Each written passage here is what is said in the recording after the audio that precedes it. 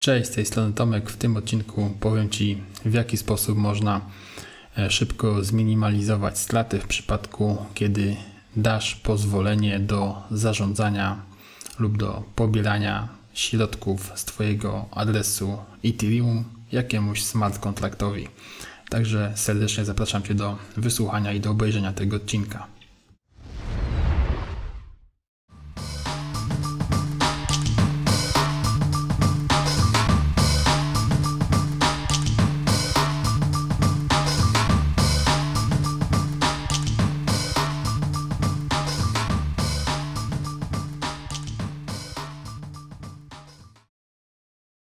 Często zdarza się tak, że korzystając z aplikacji typu Web3, czyli e, aplikacji łączącej się z jakimś zdecentralizowanym projektem opartym o blockchain, tak jak na przykład e, pokazany tutaj Decentraland, e, dajemy dostęp jakiemuś smart kontraktowi do swojego portfela. I to wszystko odbywa się przeważnie za pomocą MetaMaska czy za pomocą jakiegoś E, portfela wbudowanego w przeglądarkę.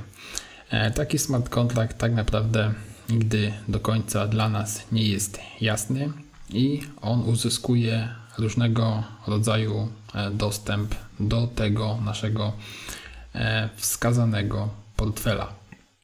Oczywiście tutaj prezentuję, jak to wygląda na przykładzie Decentraland. Dzieje się to na na wielu serwisach, także to jest bardzo e, powszechny zabieg. A również taka sytuacja ma miejsce na przykład podczas e, korzystania z Uniswapa, gdzie najpierw dajemy approve, a następnie potem robimy swap. Czyli wydając polecenie approve, zezwalamy na e, dostęp do naszych środków jakiemuś smart kontraktowi, a taki smart kontrakt tak naprawdę bardzo rzadko, a właściwie praktycznie nigdy e, nie jest weryfikowany przed tym, e, w jaki sposób go, w jaki sposób realizuje te swoje czynności. Dlatego istnieją dwa, przynajmniej mnie znane serwisy, które pozwalają anulować dostęp do tego typu kontraktów. Pierwszym z nich jest Approved Zone. Link do niego znajduje się w komentarzach i po połączeniu właśnie tej aplikacji z naszym e, portfelem mamy wyświetlone to, jakim kontraktom, jakim właśnie tokenom i do kiedy daliśmy dostęp do zarządzania tymi naszymi właśnie środkami. E, druga taki, drugi taki serwis to Revoke Cash, również teraz e, widoczny na ekranie i z poziomu tego projektu również mamy możliwość anulowania, jak i update'owania to tego, e, na ile właśnie ten smart contract będzie ingerował e, w nasze środki na portfelu, do którego uzyskał dostęp dzięki naszej zgodzie. E, Revoke Cache ma otwarty kod źródłowy, także tutaj jak najbardziej możemy się czuć pewnie korzystając z tego serwisu, ponieważ każdy, kto się zna, każdy, kto jest chętny, może przejrzeć w jaki sposób e, ten serwis działa.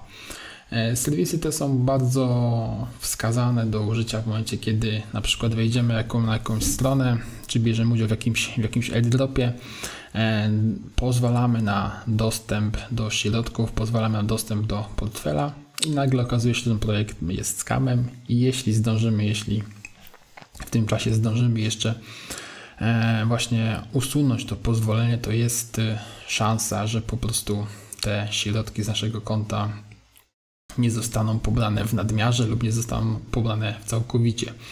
Bo tak naprawdę e, dając dostęp do naszego portfela danemu smart kontraktowi, on ma możliwość zrobienia bardzo wielu rzeczy i po prostu może całkowicie wyczyścić wszelkie środki nie tylko tego tokenu, ale również znajdującego się na tym adresie Ethereum czy innych projektów. Dlatego e, zalecane jest po prostu anulowanie i tutaj z poziomu tego e, właśnie serwisu, czy też serwisu Revoke Cache e, znowu ponownie zostanie wywołany MetaMask i po prostu musimy potwierdzić i ponieść jakąś tą minimalną opłatę za to, że po prostu ten smart contract nie będzie miał już do nas, do naszego konkretnego adresu portfela dostępu. I to e, jak najbardziej e, tak musi zostać przeprowadzone, także nie należy się bać tego, że takie właśnie okienko, e, które w pewien sposób wskazuje konkretnemu smart kontraktowi, w tym przypadku smart kontraktowi serwisu Revo Cache na odwołanie dostępu dla wybranego projektu, dla wybranego smart kontraktu i tutaj jak najbardziej nie należy się tej operacji obawiać. E, z tej strony myślę, że na ten moment to już wszystko. Serdecznie zapraszam do zadawania pytań pod komentarzem. Myślę, że warto sobie te dwa serwisy gdzieś zapisać, ponieważ często e, nie spodziewamy się, w najmniej spodziewanym momencie one mogą nam się przydać.